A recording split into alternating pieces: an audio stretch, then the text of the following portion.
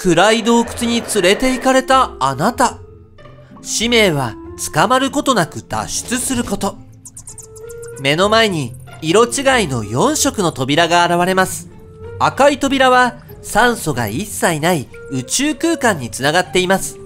黄色い扉はホウジロザメだらけの水槽につながっています。青い扉は6600万年前、巨大隕石が地球に衝突し、恐竜が絶滅した時代につながっています。紫色の扉はビーチや美味しい食べ物がある美しい島につながっています。壁にはヒントが書かれています。原色ではない色を選んでください。10秒で正しい扉を選びましょう。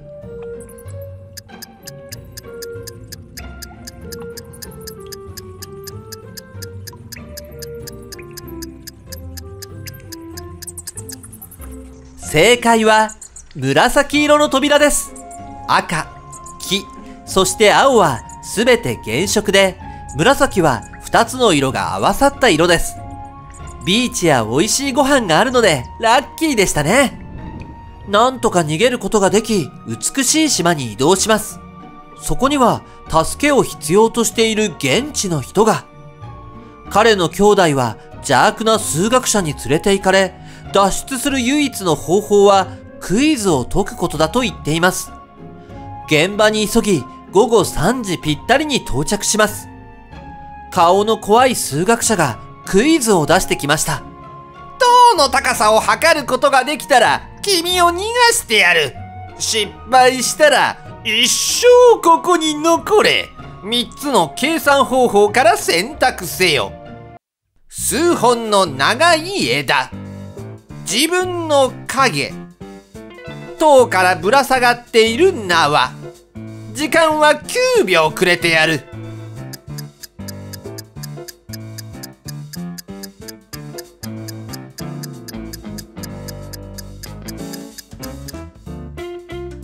棒や縄の長さがわからないと、塔と同じ高さであっても測ることはできません。そこで使いたいのが自分の影。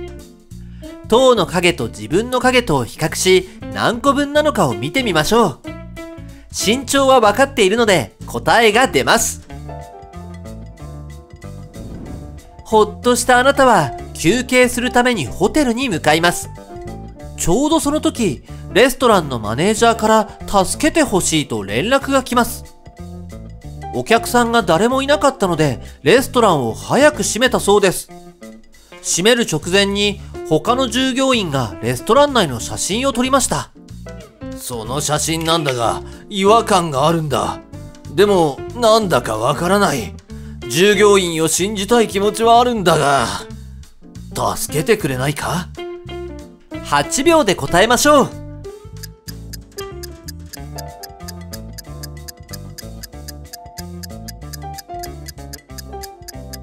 写真は加工されていました。従業員は写真に写っている人をすべて消しましたが、テーブルの上にある手だけ忘れていたようです。部屋に上がる直前、人事部長に呼ばれます。受付係として応募してきた人について相談したいと言っています。彼女は多言語を話せる人を探しており、3名に絞りました。しかし、3人中2人は嘘をついているようです。サラはベルギー出身でオランダ語を話します。ルイーズはスイス出身でスウェーデン語を話します。マリーはモンテカルロ出身でイタリア語を話します。正直者は誰でしょうか？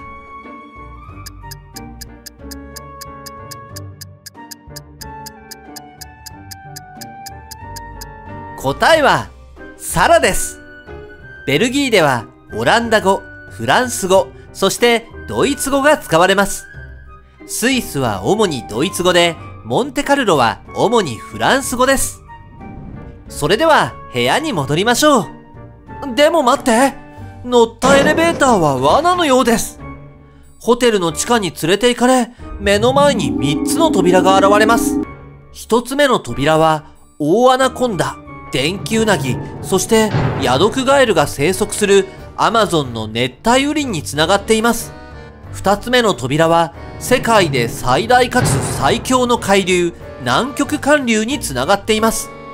3つ目の扉は、ハワイのマウナケア山の山頂につながっています。海面下にまで広がる世界で最も高い山であり、最大の火山です。一つだけ安全な場所があります。どれでしょうか ?6 秒で答えてください。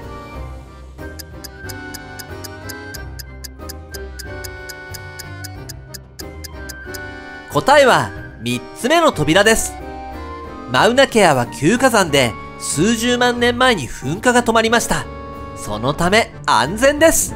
洞窟から脱出し、やっと部屋に向かいます。しかし、入った瞬間に電気が消え、バーやチェーンが床に転がる音がします。腕を使って周辺を探ってみると、木の表面にボコボコしたものが。これは展示で、こう書いています。テーブルの上にある3つのマッシュルームのうちの1つが脱出を助けてくれます。慎重に選ばないと、あなたは一生この暗い部屋から出られないでしょう。左にあるマッシュルームは力と傷を癒すパワーを与えてくれます。真ん中にあるマッシュルームは電気を戻してくれます。右にあるマッシュルームはあなたを小さく透明にしてくれます。5秒で正しいマッシュルームを選びましょう。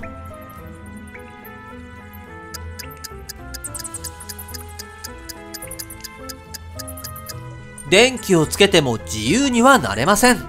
また、透明人間になったとしても壁にぶつかります。そのため最適な選択肢は力と傷を癒してくれるマッシュルームです。これでどんなに壁やバーにぶつかっても傷は治せます。翌日になりました。車を取りに行くために駐車場に向かいます。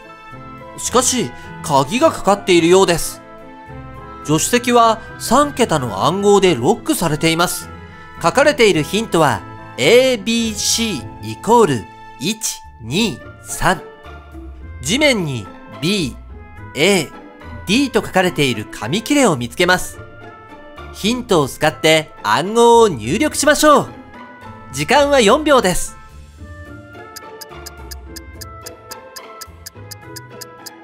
答えは214。B は2番目、A は1番目、そして D は4番目です。車に乗り込み、ショッピングセンターへと向かいます。宝石店にやってきました。金貨やダイヤモンドなど、高価な金属でいっぱいの隠れ部屋を見つけ、入ってみることにしました。その瞬間、部屋に閉じ込められてしまいます。店長の仕業です。暗い部屋の中で生き延びるためには、一つしか方法がないと言っています。それは、マフィンを一つ食べること。間違ったマフィンを食べれば、そこで終わり。正しいマフィンを食べれば、自由が手に入ります。一つ目のマフィンを食べると、苔になります。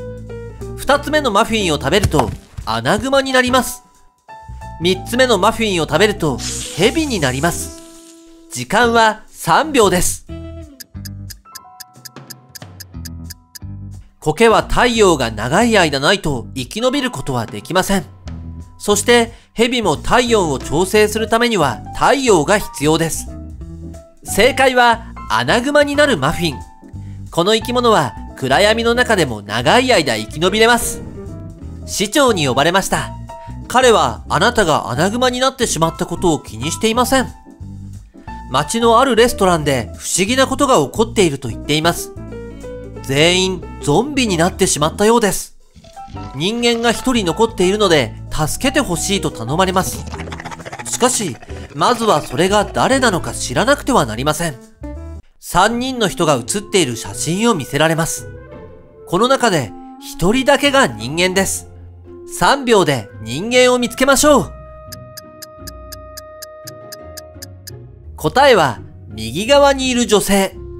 赤い箇所はホットドッグを食べた時にこぼれたケチャップです。左側にいる女性は耳の一部がありません。次に市長はあなたを地元の学校に連れて行きます。校長先生は来年のキャンプに行く生徒を決めなくてはなりません。成績が素晴らしい生徒を選び、豆を与えました。豆を最も大きく育てられた人が賞を獲得します。ズルをしてはダメですよ。と言います。子供たちは小さな豆をいっぱいつけた大きな植木鉢を持ってきました。しかし、一人の女の子は植木鉢には土しかありません。そして、その女の子が賞をもらいました。なぜでしょう？?3 秒で考えてください。先生は生徒たちに調理済みの豆をあげたんです。育ったということは、ズルをしたということ。これは、引っ掛け問題ですよね。あなたは市長と一緒にある調査をします。マーティンという名の男性が野菜の畑を完成させ、パーティーを開いて友達を家に招きました。しばらくすると奥さんがいなくなったのです。彼は探偵を呼び、3人の容疑者の名前が挙がっています。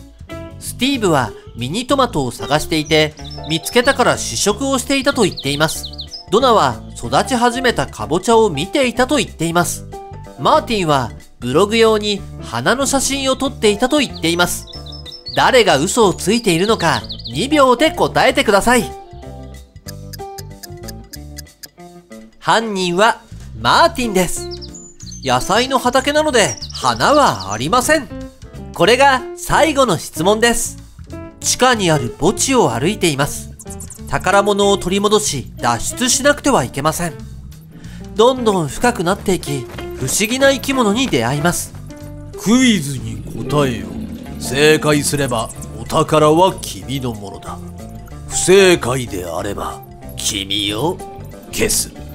生きているけど成長しない。肺はないが息するためには空気が必要。水に触れたら消滅する。我は何だ？2秒で答えてください。答えは、火です。